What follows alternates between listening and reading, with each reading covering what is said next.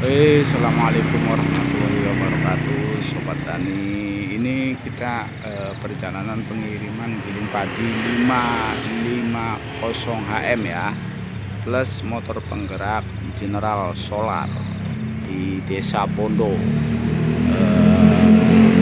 Jepara, Jawa Tengah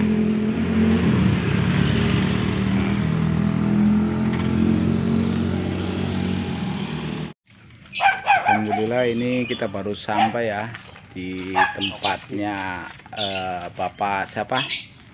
Yun. Bapak Yun. Ah, ah, ini Bapak Yun di Desa Bondo ya.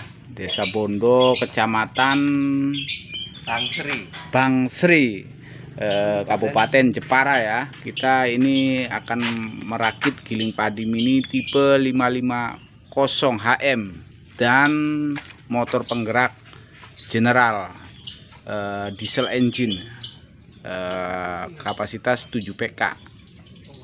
Oke, terima kasih banyak untuk sobat tani ya.